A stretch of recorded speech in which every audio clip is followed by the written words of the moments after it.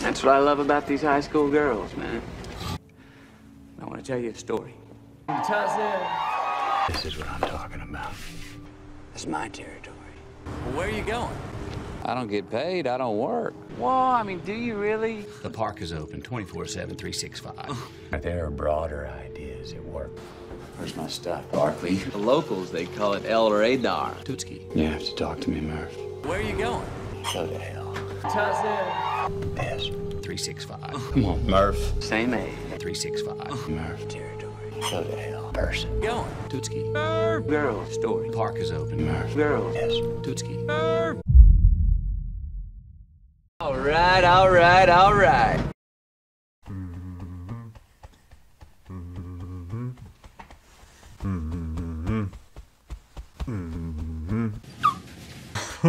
so dumb. Definitely also just more like Leo's character than like McConaughey's character. But yeah, somehow one of my favorite McConaughey scenes, even though he's not the star of this movie. Um, anyway, let uh, get out and get up. All right, much better. I hate wearing suits. Um, I spend most of my time in a gi.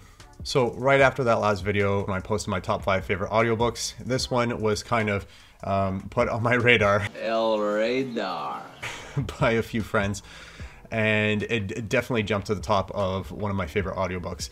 And before I get into this, I should say that your enjoyment of this book might largely depend on your enjoyment of Matthew McConaughey in general. If you are not a fan of his kind of mannerisms, this might not be for you. Although, if you're not a fan of his mannerisms, but you want to pick up some little tidbits of wisdom that he does have in this book, I would recommend the physical book. However, if you are a fan of Matthew McConaughey, this is something you have to listen to. This audiobook is narrated by the actor and it lives on his breath. Like this is meant for him to, to say out loud. He's just a phenomenal storyteller. By far the number one strength for me for this book is listening to it because hearing him narrate his own story is exquisite. It's perfect. And again, especially if you like his work, that's the medium that I, I would highly recommend that you pick this up in. This is also going to be a spoiler free review for the most part because I really think one of the treats of this book is going through kind of the episodic journey of Matthew McConaughey's life because there are some interesting things that I never thought were going to pop up here. I might mention a few of these. I'll allude to them, but I won't give away any of the details of them because again, one of the joys of this book, and it's not very long, even as an audiobook, I think it was six hours and, and something, which is a very short listen. But discovering how he went through some of these things and some of these things that I had never known of before was kind of a real treat and was a surprise as, as I listened through the audio. So Greenlights is essentially a memoir that goes through a lot of the journal entries, or at least the pivotal ones, throughout Matthew McConaughey's life from childhood all the way through till present day. It spans four different continents and a range of characters who all come together to basically contribute to the lessons that McConaughey uses in his career and in his family life as well.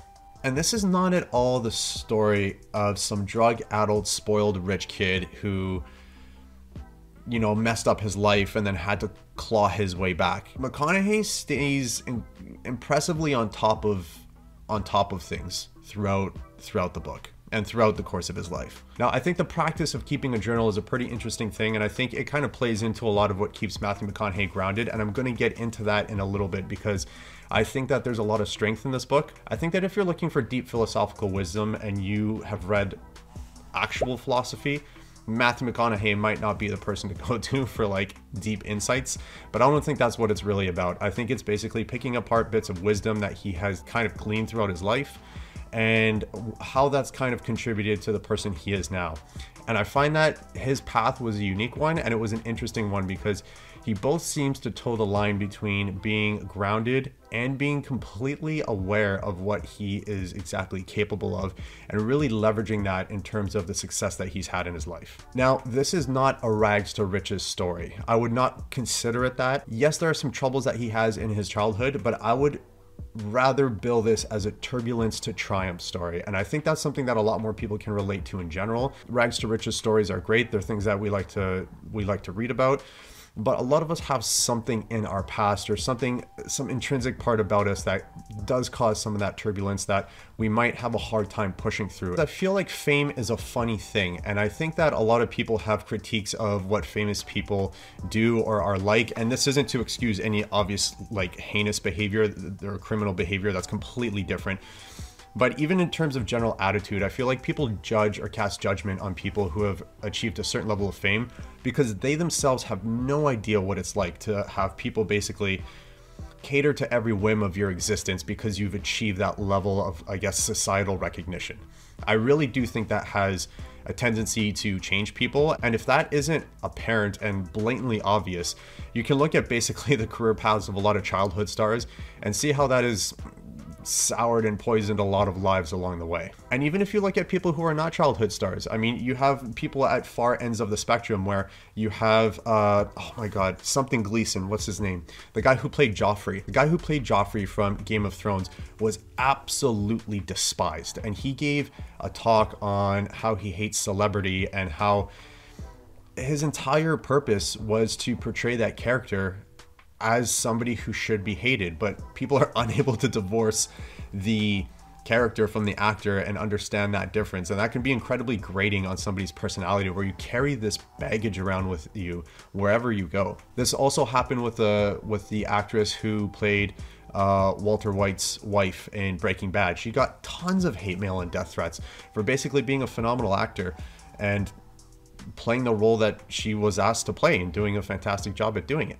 Now, this can create a lot of self deprecation in certain instances, but you go on the other far side of the spectrum and you get your Kanye Wests who are, I mean, like I don't mean to to point the lens in a in a negative light when there's clearly mental health issues at play, but there are obviously certain megalomania tendencies that exist within that kind of personality, and that can be a consequence, or maybe even if it's not a con- consequence, definitely exacerbated by a level of fame that being at that societal status kind of brings. And again, I think Matthew McConaughey's strength is toeing the line between self deprecation and uh, being self aggrandizing in a way that he's very aware of what he can and cannot do and understands how to pivot to find the silver lining in any situation in his life.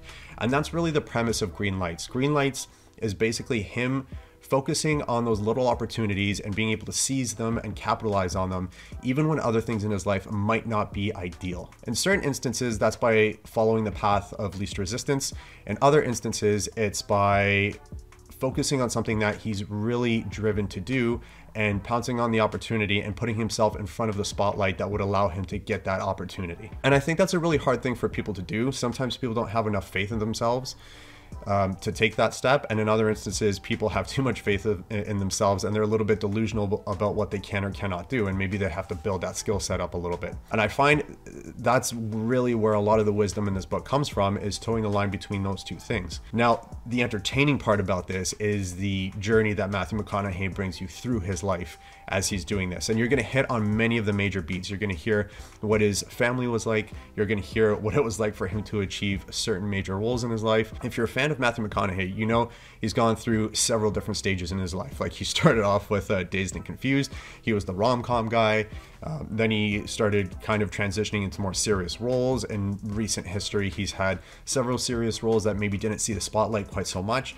And he goes into detail about how he faced those circumstances and how he pivots from one to the next based on what his life is telling him. As somebody who's been forced to pivot recently due to COVID 19 and the lockdown and has been personally affected by my business, I felt this very much. And I feel like that's one of the reasons why I related to this. So, in the combat sport community, there is often a lot of grit and perseverance and talking about pushing through various adversity.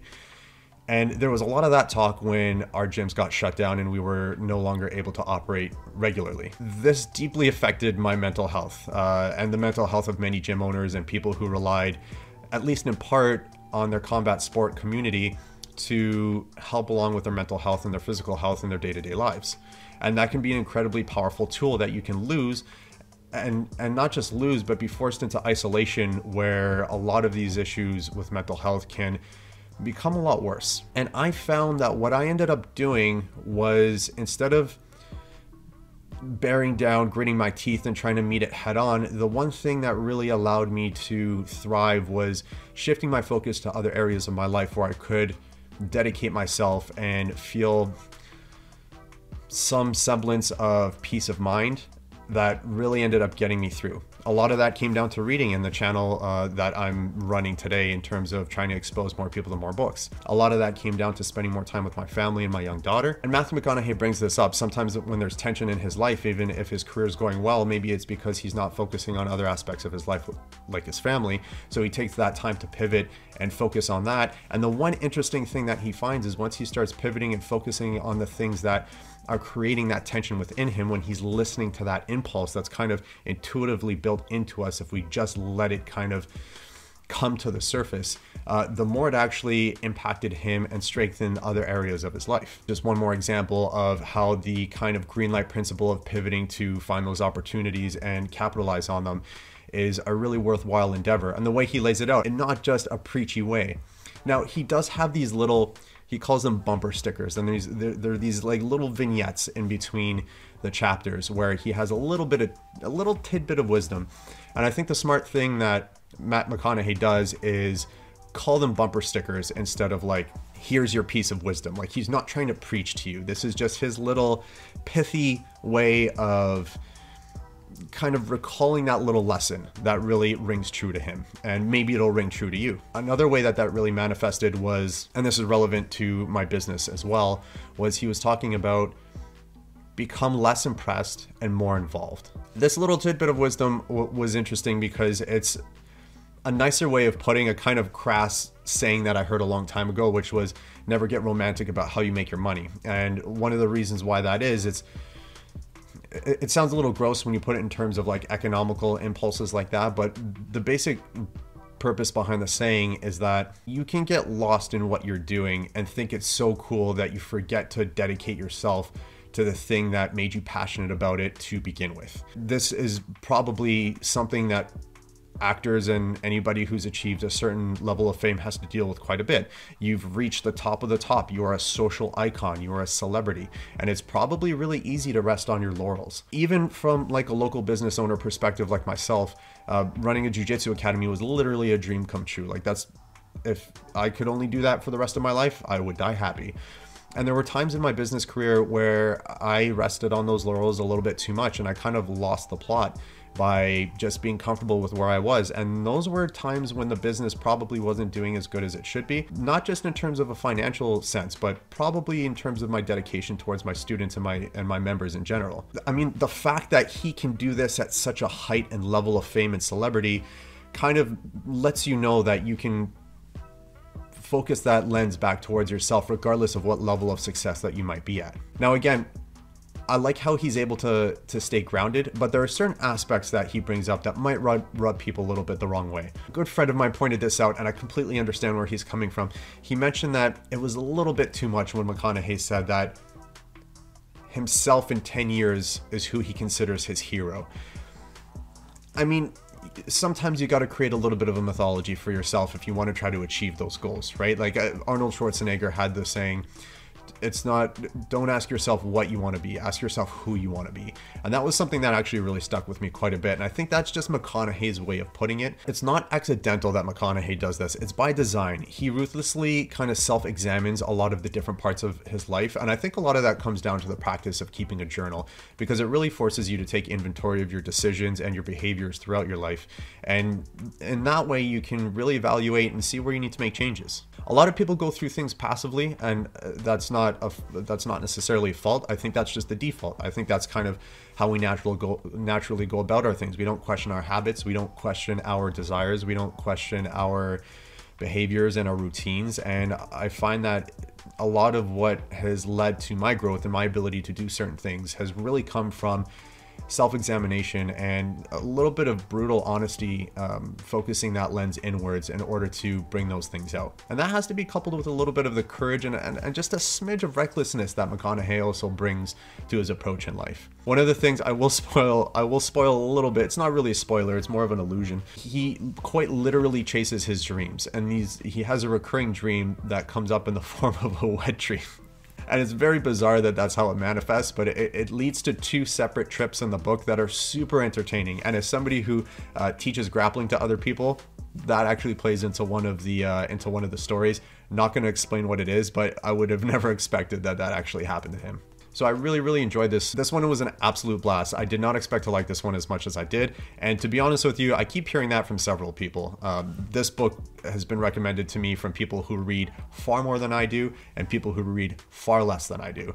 So if you hate Matthew McConaughey, probably not for you. Might still get something out of his physical book though, but if you like him at all, check out the audiobook. Definitely a treat. 5 out of 5. Would recommend. Very accessible, little tidbits of wisdom, and super fun. Also, our wives have the same name, so that was kind of cool. If you read this one, please let me know what you think of it in the comments, and stay tuned for the next video.